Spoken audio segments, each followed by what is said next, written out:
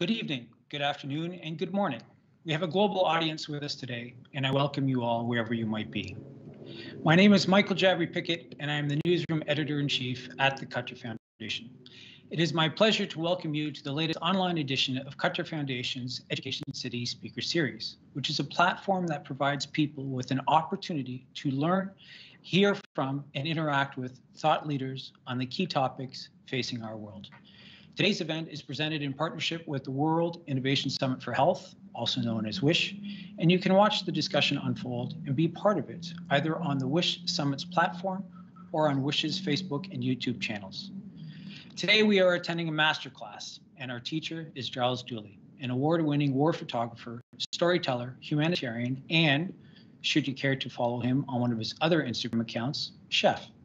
You can find that account at the One Arm Chef. Imagine living one life, and then right around the time you think you have it all figured out, how you fit into the world, what you do well, how best to interact with others, that life ends and a new one begins. How would you respond? Or imagine being on one side of a story and then you find yourself on the completely opposite side. How would you react? In early February 2011, Giles Duley was able bodied. Then, a few days later, he wasn't. The title of today's masterclass is Reframing Our View of Disability. As a photojournalist, Giles had to reframe his life and his career after his accident. For almost 10 years now, he has lived the other side of the story. He knows 100% what it means to live as an able bodied man, and now he knows what it is like to live with disabilities. Perhaps most tellingly, what it is like to be seen as someone who has disabilities. Today, Giles will share with us how he reframed his view of disability and how we can all hopefully learn from his experience. The founder and CEO of the NGO Legacy of War Foundation, Giles is a campaigner for the rights of refugees and those living with disabilities caused by conflict. He is documenting the long term impact of conflict globally through his photographic project, Legacy of War. In 2011, while working in Afghanistan, Giles was severely injured by an IED, and as a result of his injuries, is a triple amputee. During this masterclass, he will speak about how disabled people are viewed in society and how, despite recent changes, there are aspects where the status quo has not changed when it comes to including this community in decision-making processes. Before we begin, I must mention a few housekeeping items. The format for today's masterclass is as follows. Giles will speak for about 20 minutes before our 25-minute Q&A from the audience. Please use the Q&A section of this webinar to post questions, and we'll try to get to as many as possible. If you want to post about this discussion on your social media channels, it would be great if you could use the hashtags EC Speaker Series, Virtual Wish 2020, and One World, Our Health. I now turn the floor to Giles Duley.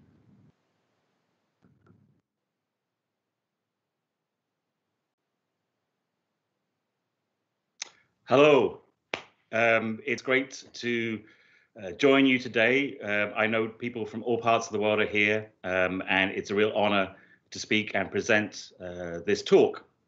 Um, today, I want to start by telling my own story, how I came from being an able-bodied photographer into covering conflicts. Um, my journey begins um, when I was 18 years old. I had gone to America on a sports scholarship. Um, I was there um, doing boxing. I was probably the world's worst boxer. I thought I was fantastic. Um, but sport was my life. And unfortunately, I was involved in a minor car accident. I was flown back to England and I was told I would never do sport again. I was an 18 year old boy, very angry with the world, with my family, with the doctors, and really had no idea what I was going to do next with my life. Everything seemed to be crashing down around me. And in that lowest moment, at that lowest ebb, two small gifts were to change my life forever. One was an Olympus OM10 camera, and the other was a book by the war photographer Don McCullin. My godfather had unfortunately passed away when I was in hospital, and these were the two gifts that he bestowed to me. Now, I had grown up in a house, my parents weren't interested in art or the news, and I had never seen photographs like Don McCullin's these incredibly stark black and white images of conflicts around the world. And when I first saw these photographs, I was so moved. To this day, if I shut my eyes, I can still recall those first images that I saw. I knew there and then that's what I wanted to do. I wanted to follow in the footsteps of Don McCullin and become a conflict photographer. So I actually taught myself um, photography, lying in a hospital bed. I would photograph the doctors, the nurses, uh, anything around me. And I left hospital full of really good intentions to follow in footsteps of Don McCullin. But I was 19 years old, and at that age, it's very easy to get distracted. Um, I had a few friends that were musicians, that were in bands, and they asked me to come along and photograph them. And before I knew it, magazines were ringing me um, to photograph musicians and actors and then the fashion world. And really by accident, I found that I had become a rock and roll photographer. Now, as you can imagine, at that point in my life, it was a very exciting thing to do. I traveled around the world, hanging out with these amazing musicians, stars of, of the screen, um, all sorts of interesting people. And it was an amazing life. But as time went on, I found myself increasingly unhappy. I worked as a music and fashion photographer for 10 years. But by the end, I was finding something really missing inside. In fact, I would do some of these shoots and get paid ridiculous amounts of money and then sit in my hotel room in tears. And I couldn't really understand what was missing from my life. I also didn't like the celebrity culture and I didn't like the way that women were being portrayed in a lot of the magazines that I worked for. Finally, it all came to a big climax when I was doing a photo shoot and there was a young actress in tears. It was all to do with her state of undress and what she was wearing. And I remember sitting there thinking, this is not why I became a photographer. So the rock and roll story is that I took all my cameras and I threw them out the hotel room of the Charlotte Street Hotel in Soho in London. Well, that's kind of the truth. Anybody who knows me knows I'm not quite that and roll. Actually, what happened is I had a little hissy fit and threw them on the bed. It was just unfortunate my cameras bounced off the bed and out the window, and they smashed in the street below that did seem like that was going to be the end of my photographic career. Um, I didn't know what I was going to do next. I moved away from London. Um, I got a job in a bar in Hastings and sunk into a very deep depression. I was only 28 years old, but I'd really lost all focus on where my life was going next. And then in that lowest moment, when I really could see no future for myself, I remembered those two small gifts I'd been given 10 years before and how they had made me feel that Olympus OM10 camera and the book by the war photographer Don McCullin. And I realized that's where I had gone wrong. I hadn't followed my true path. So I actually uh, sold my flat. Um, I moved to Angola and I began my career as a photographer documenting uh, humanitarian impact of conflict. Now, I often get called a, a war photographer, but actually, I would call myself an anti war photographer. You will never see pictures of guns and tanks. Um, you'll see pictures of soldiers. My work is to show the impact of war on civilians. I've been in this work for about 10 years uh, when I found myself in Afghanistan. I was there doing um, a project on a group of American soldiers. And then I found myself on patrol one day. While I was on patrol, we got ambushed. And when I was ambushed, I stepped on a landmine, an IED. I immediately lost both my legs and my arm. I was lying under a tree, and I remember watching the sky, thinking these would be the last moments of my life. Miraculously, there were a group of American soldiers that got me to a medevac helicopter. But I remember thinking I might just last another minute. I might just last five minutes. Then I made it to the medevac helicopter and I was flown back to Kandahar Air Base. Somehow I survived. I was flown back to the United Kingdom. There, I spent the next 46 days in an intensive care unit. Sorry, Giles, can I just ask that you reshare your slides, please? Apparently Okay. there are some tech difficulties.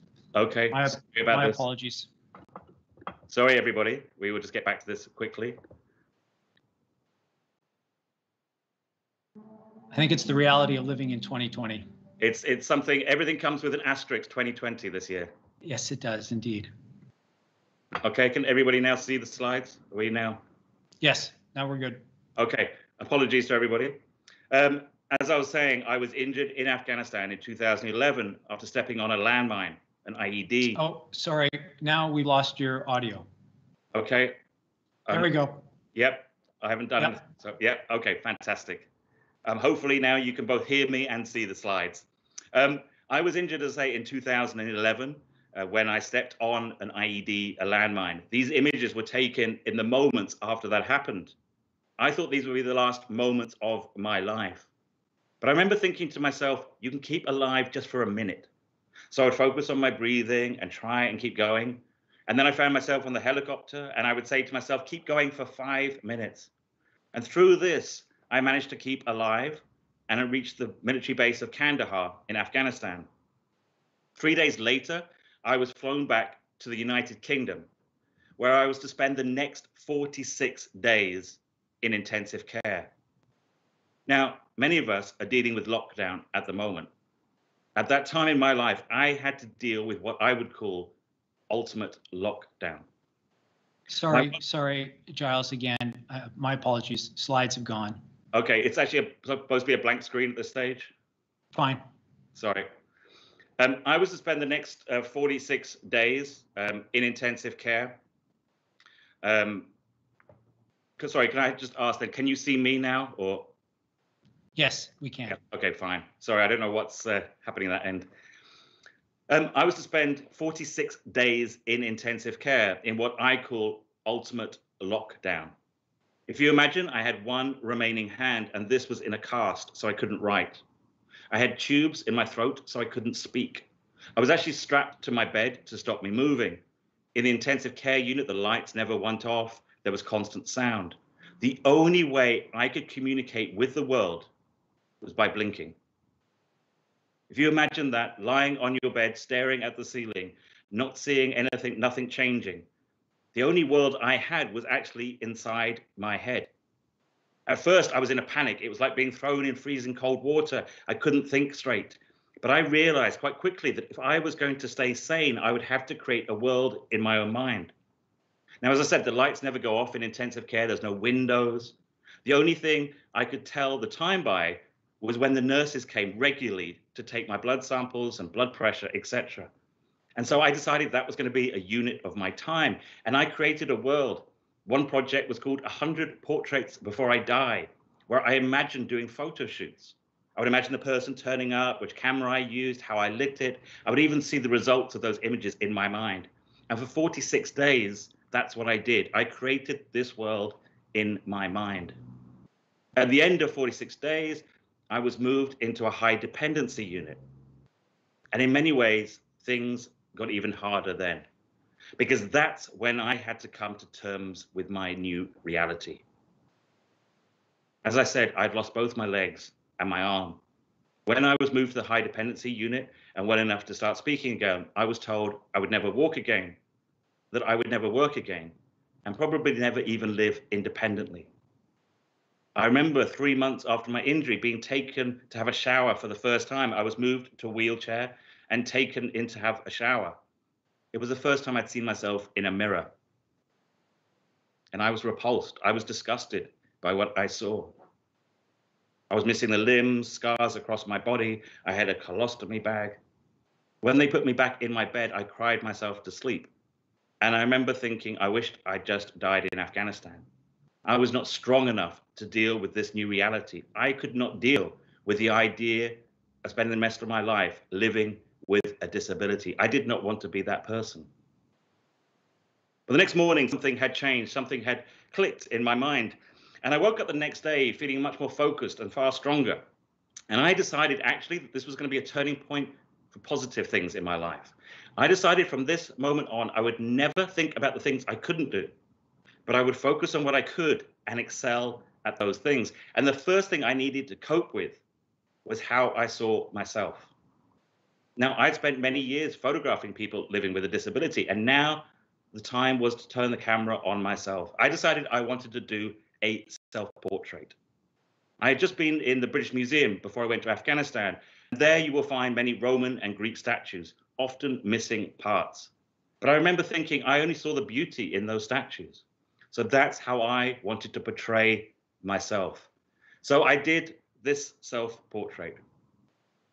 I call it my Greek statue portrait. And this was the moment I took control of my own life again. This was the moment when I said, I don't care what people think about me. It's what I think about myself. And this was the moment that I stood strong in front of the world. After doing this portrait, um, I returned back to hospital. I spent a year in hospital. I had 37 operations. Um, but at the end of that year, I was able to begin my rehabilitation. Um, and as you can see, eventually I was able to walk again. They also taught me to make these strange grimacing faces. Eventually, 18 months after my injuries, I was well enough to hold a camera and be a photographer again. And the first place I went to was Afghanistan to finish the work that I had been doing there when I got injured. But before we finish uh, my section, I just want to very briefly share the stories of a couple of people that I've photographed. Because anybody knows me knows I rather tell stories about other people than myself. In 2014, I went to Lebanon to document some of Syria's most vulnerable refugees, the elderly, single parent families, and those living with injuries such as myself, people such as Khulud. Khulud had been at home in Syria when a sniper shot her in the neck. She fell paralyzed. In fact, she landed on top of one of her own children. Her family managed to get her to relative safety in Lebanon's Bekaa Valley, which is where I met her. But she was living in a homemade tent.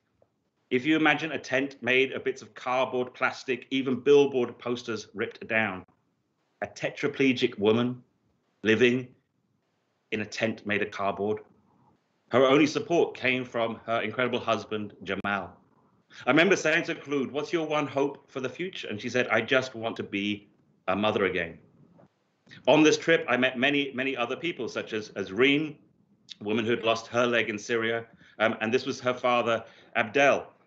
Now, if you go online and look at my photographs, you will see most of my photographs are of people looking directly at the camera.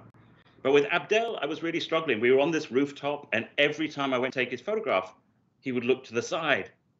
Increasingly frustrated, I said, Why do you not look at me when I'm taking the photograph? Abdel pointed to some mountains in the distance and he said, You see those mountains? I said, Yes. And he said, That is Syria. He goes, I live on this rooftop. So the first thing I see in the morning and the last thing I see at night is my homeland. I am too old. I will probably never return home. And so Abdel is the only person I photographed not looking at my camera because in this image, he is looking at home. Um, on this trip, I also met a young girl called Aya. Um, Aya was a four-year-old living with spina bifida. Now, this is an image that I believe is a really important representation of what living with disability means. Too often, people living with disability are shown as victims. But I rarely find that when I am out traveling. In fact, Aya was the feistiest four year old I've ever met in my life. She didn't just control her family, she controlled the whole refugee camp. She would refer to her sister, who she's playing hopscotch here with, as Donkey. And she'd say, Hey, Donkey, pick me up and take me here. We'd walk around the camp. Somebody would be selling water, and she'd say, Hey, Donkey, give me water. Or somebody else, Hey, Donkey, give me bread. She was this incredibly feisty four year old. So I wanted to photograph her and represent her in a way that was true to her spirit. Because that's what I find when I travel and work in places such as the refugee camps in Lebanon. I find resilience, strength, fortitude, and more often than not, humor. Now, I came back from this trip. Um, it was uh, in 90, sorry, in 2014, and two years later, um, I had the opportunity to return to Lebanon to retrace my steps and find some of the families that I'd met and see what had happened to them. Um, people like my friend Abdel. Now, as I said, it's great when you do portraits to show people the portraits you've done before. So I, I always take these prints with me. But let me tell you, for somebody with, with one arm and with no legs, taking these photographic prints halfway around the world is pretty difficult. So I got there and I gave Abdel his photograph and I thought he'd be very grateful. But he looked at the image, then he looked at me and he said, Giles, you made me look really old in this. Reem was still living on the rooftop with her family.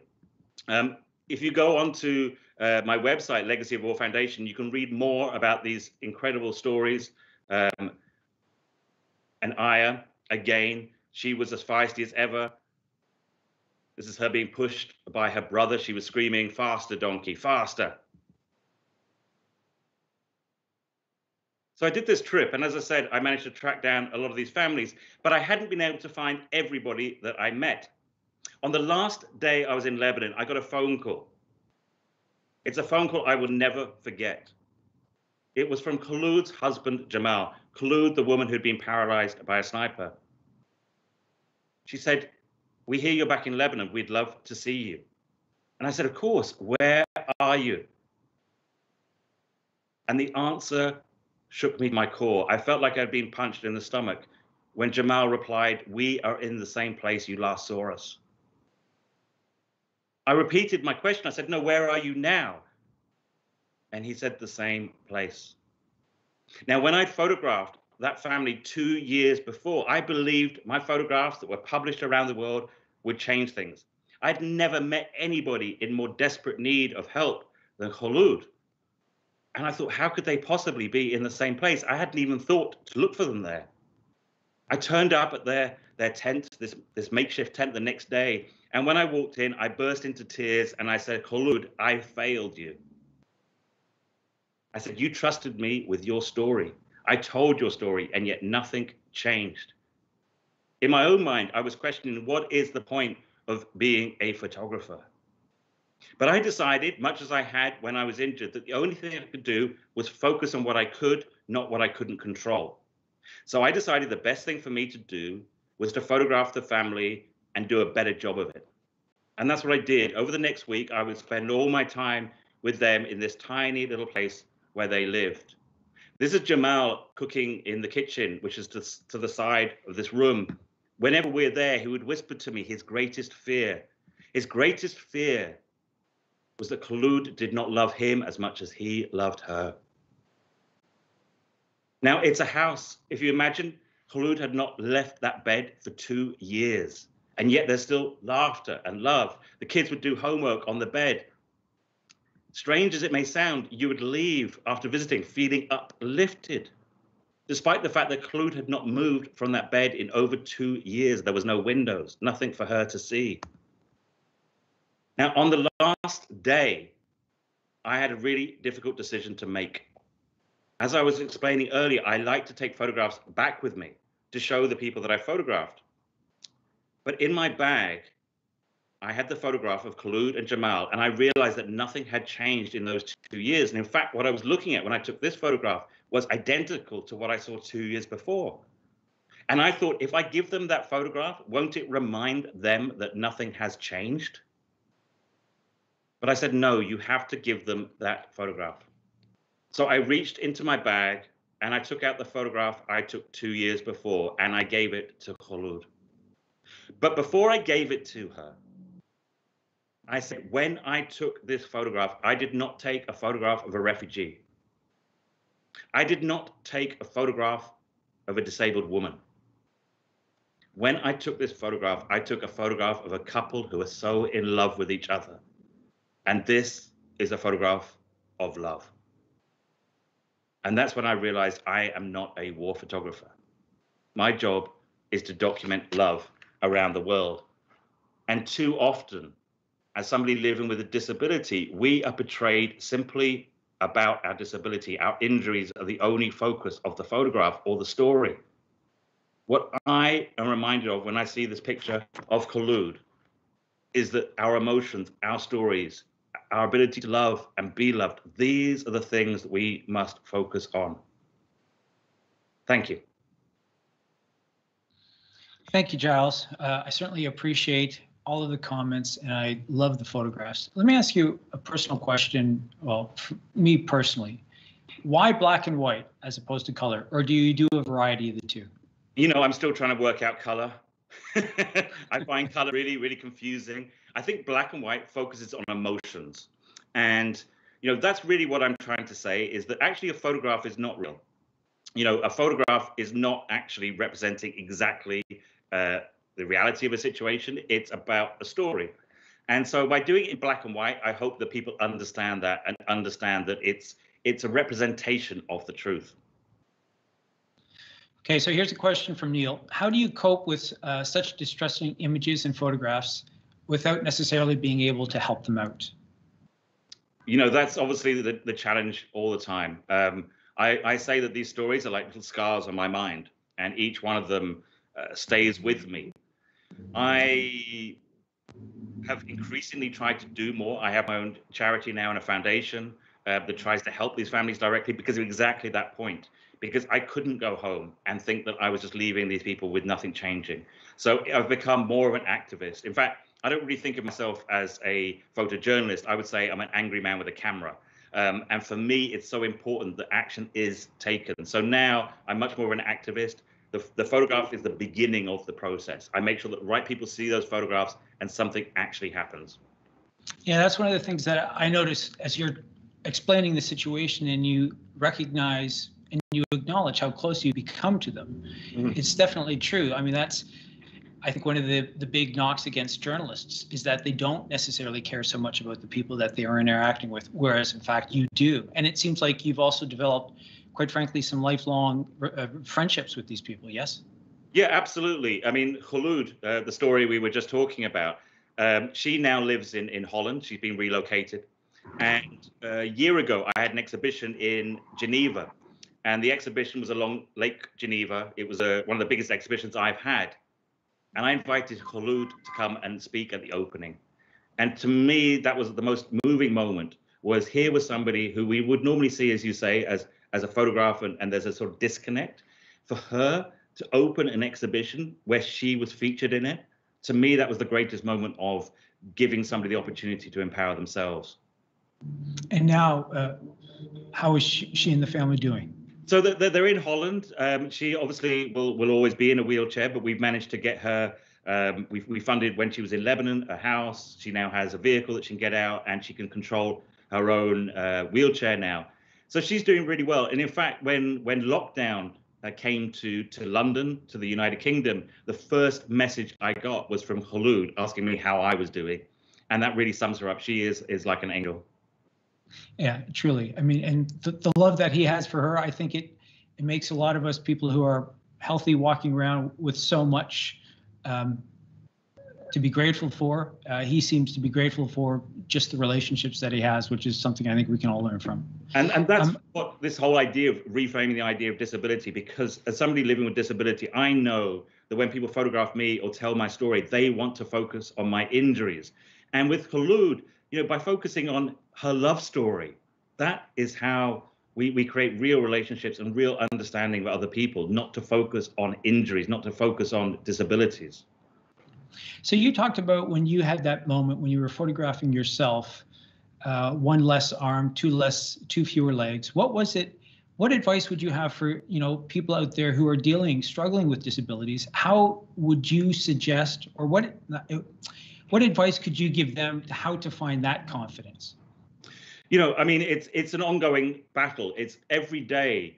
You know, and I always try and say that to people. It's a complex thing. You can't characterize somebody in one image or in one moment. You know, in a single day, I can be in tears in the morning, thinking it's overwhelming. The same day, I can believe anything's possible. I can be angry. I can be sad. I can be happy. I can be all these things.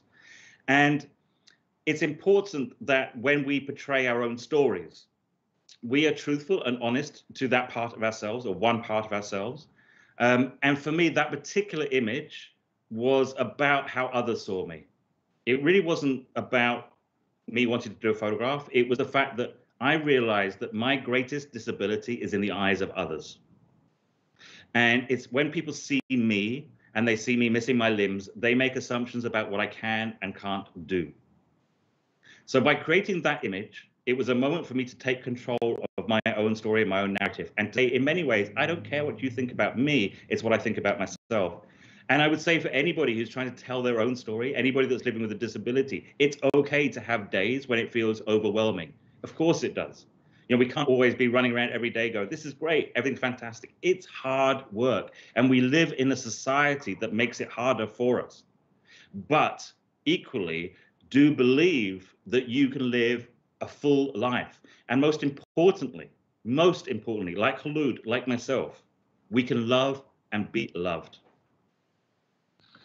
So we're coming up on the, I don't know if you would call it the 10th anniversary of your accident.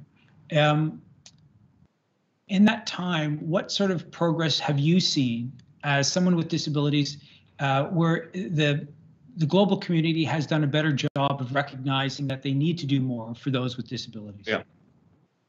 Yeah, I mean, it's still a constant challenge. And as I say, the, the, the challenge is other people's perceptions of what we're capable of. And so, you know, I, I, I make this comment about love, but you know, you wouldn't be, you'd be amazed how many times people ask me, you know, are you in a relationship? Can you be in a relationship? Can you do that? As if we're, we're kind of not able to live normal lives. The simple fact is, yes, I'm missing two legs and an arm, but inside, I'm exactly the same person I always was. And you mentioned the one arm chef. I mean, that started as a joke because I would be out at restaurants and people would start cutting up my food for me. You know, I'd be on a date and my meal would come up cut into little pieces. And at first, I'd be polite and very British and not say anything. And then one day I said, you know, enough's enough. And so I created the one arm chef because if I say so myself, I'm a pretty good cook. And so when I'm making like an egg yolk ravioli, which is quite complex for people with two hands, I would do that. And then the next time somebody cut my food up and brought it out, I would show them a picture of this and say, if you want me in the kitchen, I'll outcook you, but I don't want to embarrass you like you just embarrassed me. So, uh-huh. you know, that's that's really these these things I, I, you fight in your own little ways. For me, it's about fighting by showing what I can do. You know, there are not many photographers working in in in my world who live with injuries like myself. And yet, we are often the subject of these photographs. If you look at World Press Photo, how many imagery has people living with disability as, as an image? And yet, very rarely will we find the photographer is somebody living with a disability. The way I see it is we are often the subject, but we are rarely the storyteller. Yeah, so true. All right, so here's a, a, a question from a photographer. Uh, somebody is saying that um, I feel that my photos are not helping anyone. How can I get it into uh, humanitarian photography? And what tips would you give to somebody who wants to, I guess, present their photos so that they are powerful, as powerful as possible, but also, you know, um, helpful to the international community? Yeah. Well, I mean, when I started, what I did is I offered my services to charities, to NGOs to help work with them to tell their stories. But increasingly, what I do now is actually work with the individuals themselves. So when somebody says to me, Who do you work for? I always say, I work for the person in the photograph. And that's what I would say for anybody who's starting out on this. Think about the person you're, you're documenting. And it sounds like a very stupid thing to say, but my first question is, How can I help you? What is it that you need from these photographs? you know, it's what we do as a charity as well. We always ask the communities, how can we help you? So my simple question would be, if you don't think your photographs are good enough or you're not sure their purpose, why not ask the person in the photograph, what is it that they would like to get from this? How will it help them? What do they think we should do with them? And actually, that's the person that takes the lead for me. And it sounds so obvious, but is rarely done. Yeah, I, I think you're absolutely right. And I think it's because people, photographers in particular, you know, the, they're the natural is either it's art or it is somehow journalism, and you would not go to the subject and say, "What is it that I could do to improve this?" Right? Exactly. You would go to your editor. And that's why I, I don't call myself a photojournalist. You know, I have huge admiration for my friends that work as photojournalists, and they have to be, to a certain extent, impartial as I said, I'm, I'm going there because I'm angry. You know, I see what's happening on, on television, on the news, and I want to do something about it. And when I meet somebody that's injured, somebody like Khulud, you know, my direct question is, how can I help you? And one thing I should say, uh, again, brief answer to that last question, we actually use those photographs and Khulud's story to do a crowdfunding campaign with an amazing organization called Random Acts in America. And we raised, by sharing that story of love, quarter of a million dollars in the space of two weeks. And that was people just donating five, twenty dollars, small amounts. But by people coming together, inspired by that story, we were able to rehouse many, many families uh, living in Lebanon. And that's the power of an image. So as a photographer, maybe the most important thing is not being on the cover of the New York Times. Maybe the most important thing is seeing the impact those pictures have. And for me, the most successful photograph I've ever taken is the one of Khulud that appeared on a crowdfunding campaign. That was all I could ever ask for. Yeah, I think sometimes we all want that Pulitzer. If you're American, you want that Pulitzer Prize photograph, as opposed to you know what good could you do? Yeah. Um, another question. So, uh, in your professional career, is there or is there a series of photographs that have touched you the most, that have had the biggest impact on you? You know, I would say the photographs that have impacted me the most are the ones you don't see. Because in every story I do, I have to make an edit. You know, I was just showing some stories from, from Lebanon of Syrian families. There were other families that I photographed that didn't make the cut, so to speak. And those are the ones that haunt me because I feel I failed those people. Because the reality is often these images mean lives do change. But what about the photographs we don't see? And those stories that don't get told. Those people have trusted me with their story, and for various reasons, you can't tell every story. So yeah, the ones that really affect me are the photographs that are still here in, in my head, and I always feel I failed those people. Um, and what advice would you have to a photographer who wants to go to a conflict zone? And maybe they want the glory, maybe they want to focus on the people who are disenfranchised. What advice would you give to them? The first thing is make sure you're trained. You know, make sure you're trained in, in first aid. It's something that I've I've encountered where people have been injured and really could have been saved if there had been people around them that had first aid training. So first thing is is get trained. Secondly, ask yourself, why am I doing this? Am I doing this for myself? You know, you I think when you photograph somebody who is injured, somebody suffering in, in conflict, it comes with huge responsibility. And I always ask myself, why am I taking this photograph? Am I doing it for myself or am I doing it for them? And I think it's really important to remember, you know, I, I was photographed myself moments after being injured. I know what it's like to have somebody point a camera at you in your worst moment, and it's hurtful and difficult. And so just remember, if you go to a conflict zone, you go to that, don't do it for your own glory you know do it because you think it can make a difference but please don't do it just because you want the action you want the excitement. People are suffering people are dying. You know i, I the, the pictures that you showed when you were first injured um, one of the first thoughts because of course you're a photographer as well is do you have a relationship with the person who shot the photographs? Uh, and does that relationship continue to this day? You know i, I didn't i didn't I wasn't aware of the photographer that was on the Medivac helicopter. It was only afterwards, and in fact, the pictures appeared in the New York Times, which is how many people found out about my injuries. Um, you know, they asked my brother whether they should be published, and my brother said he would want that um, because I felt it was, imp- and I, I do think it was it was fine that they were published, but I, I feel slightly uh, detached from them. Um, it's like looking at somebody somebody else, and I think when I first saw them, I thought everyone thought I was going to be quite traumatized by seeing them. And I just looked at them and thought, well, I would have framed them differently and I'd have probably done it in black and white. uh, another question. Uh, have you found that the world's view on people with disabilities has improved in any way over the past 10 years or not so much? You know, it's it's improving and, and I'm very grateful to be living in a country that is is forward thinking, but there's still a long way to go. And you know, you, you look at the representation, for example, of, of people living with disability on television a very, very small percentage of people, and we tend to be always portrayed as the vil- villains. Uh, and you know, it was only recently, in fact, I was making a comment about James Bond films, um, and maybe it's time for a one-armed James Bond because it's actually though quite hurtful. Though you will notice every James Bond villain always has a facial disfigurement, is missing a limb, is living with a disability. We have to stop representing people on television with disability as always the villains. So true. Uh, here's another question. So you talked about, um, you know, the physical uh, challenges that you faced, the 37 operations. Um, can you walk us through some of the mental health issues that you went through and how long that recovery took? And are you there? You know, I, I suffered for many years uh, from very, very bad depression. It's something that I have spoken about. Um, and that was in my, my late 20s and my 30s, um, early 30s. And I managed to get through that when I finally found purpose, which is when I became a photographer that I am now. I always say that that battle with, with mental health was far harder than losing three limbs. It was the greater battle. And what gave me the strength to get through my injuries was the strength, the resilience that I had built dealing with depression. So when people uh, sort of trivialize what mental health is when people say to people, oh, just pull yourself together. I can speak from experience. I have suffered from very bad uh, depression and I've suffered from pretty traumatic injuries. And I can tell you from my personal experience, the battle for my mental health was harder. But what got me through it, it was finding purpose. Yeah, I think that's true with so many people in life. It doesn't matter if you're disabled or not.